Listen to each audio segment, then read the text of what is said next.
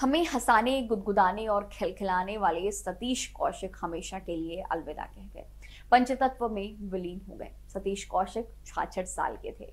Cardiac arrest की वजह से वो अब हमारे बीच नहीं है। फ़िल्म इंडस्ट्री तो छोड़ो, आम जनता के लिए ये खबर बेहद ही दुखद रही। लोग सतीश कौशिक की अदाकारी के कायल थे। हर उम्र के लोग उनके रोल को खूब पसंद करते थे। पत्नी और 11 साल की बेटी के लिए ये मुश्किल की घड़ी है। दोस्त अनुपम खेर समेत पूरा बॉलीवुड इंडस्ट्री उनके जाने से दुखी है, सभी की आँखें नम हैं।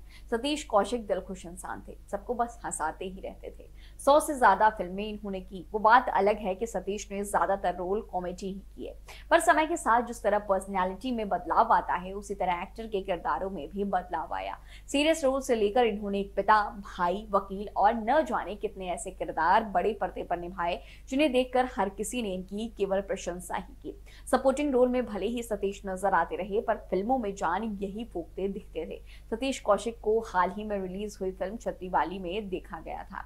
एक्टर ने रतन लांबा के कॉमिक किरदार को निभाया था। अभी एक्टर की एक और फ़िल्म बची है जो दर्शकों के बीच रिलीज़ होनी बाकी है। वो है कंगना रनौत की फ़िल्म एमरजेंसी प्रधानमंत्री इंदिरा गांधी के कार्यकाल के दौरान उन्नीस सौ पचहत्तर में भारत में लगी इमरजेंसी पर यह फ़िल्म बनी हुई है।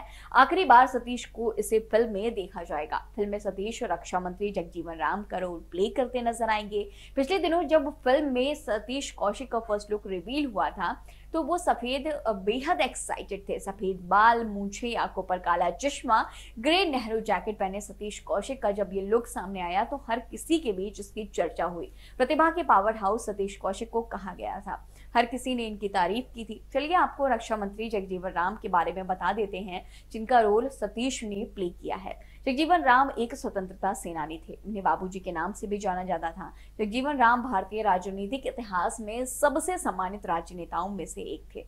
ये भारत के प्रथम दलित उप प्रधानमंत्री और राजनेता थे। 25 जून 1975 को इंदिरा गांधी ने देश भर में आपातकाल की घोषणा की थी। इस दौरान जगजीवन राम ने अपने पद का त्याग कर कांग्रेस पार्टी से इस्तीफा दे दिया था। खुद की एक अलग पार्टी बनाई थी। नाम था कांग्रेस फॉर डेमोक्रेसी।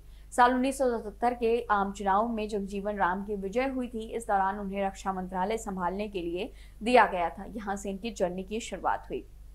इसी रोल के साथ अब सतीश कौशिक हमें नहीं दिखाई देंगे। लेकिन उनका उनका ये अंदाज, उनका लोगों का हंसाना खुशाना, रखना, हँसी खुशी के साथ में उनकी फ़िल्में लोगों के जहन में हमेशा रहेंगी।